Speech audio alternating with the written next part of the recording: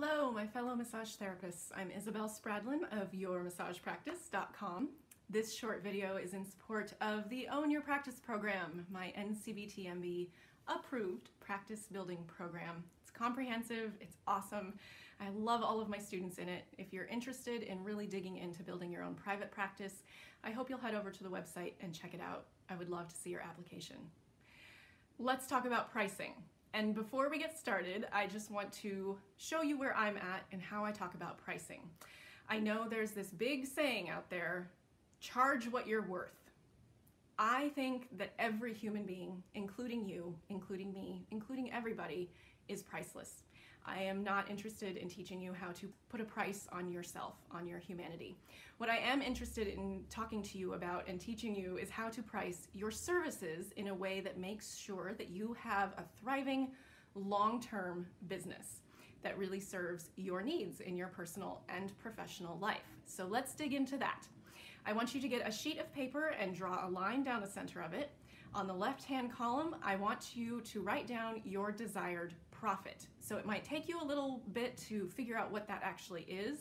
On the right-hand column, we need to figure out the four things that will help you actually uh, put a really stable price onto your services. Number one, you need to know your fixed costs, which means every predictable expense for every month that you are in business.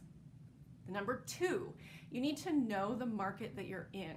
This can be very easy. Just do a website on massage therapists in your area, find out what the low end is, find out what the high end is, figure out that spectrum.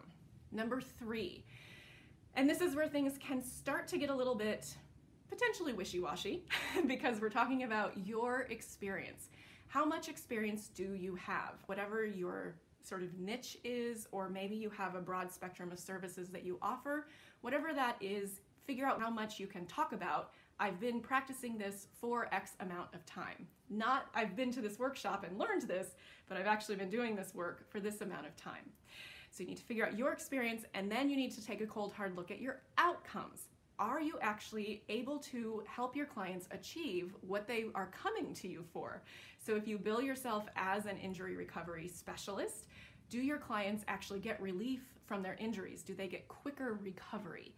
If you bill yourself in the relaxation or stress reduction realm, do your clients consistently report to you, wow, I just feel so much more at home in my body, I feel less stressed, I feel calmer, whatever that might look like or sound like? Do you have the testimonials to back this up?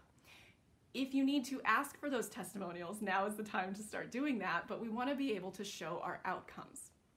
Once you have those four things in your right-hand column, then you're gonna look at both columns and you are going to take that matrix of things and set your prices based on where you fall in all of these spectrums.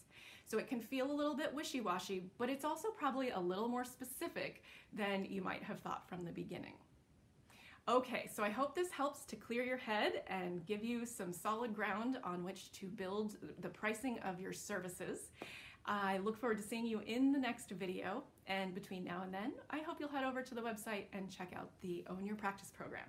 Okay,